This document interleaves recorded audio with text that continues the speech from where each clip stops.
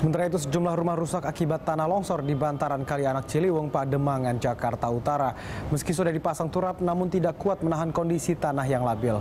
Oleh karena itu, Pemprov DKI Jakarta akan memasang pondasi tiang pancang yang lebih kuat.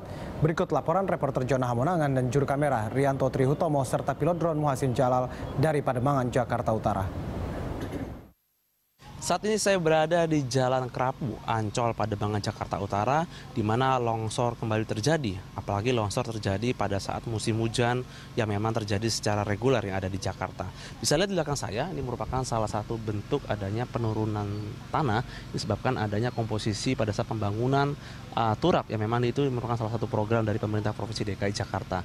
Akibat dari adanya amblesnya dari turap ini mengakibatkan adanya 10 rumah hancur dan 30 dua uh, masyarakat harus mengungsi, di mana ini merupakan salah satu imbas dari penurunan tanah, lebih tepatnya tanah yang ada di bawah rumah mereka.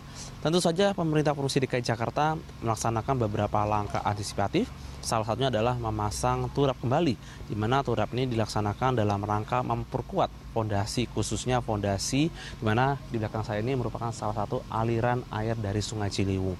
Hal kedua yang dilakukan adalah merupakan salah satunya adalah mengikuti instruksi dari Gubernur DKI Jakarta, di mana instruksi Gubernur DKI Jakarta Anies Baswedan menginginkan adanya legalitas tanah, di mana tentu saja akan dicek apakah properti atau rumah yang berada di daerah aliran ini melanggar hukum atau tidak.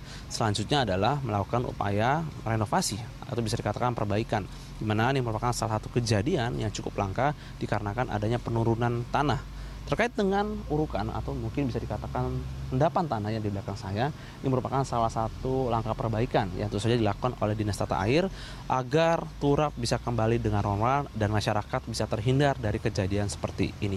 Cuna Hamonangan, Rianto Triutomo, Alat Drone Muasin Jalal, Berita 1, Jakarta.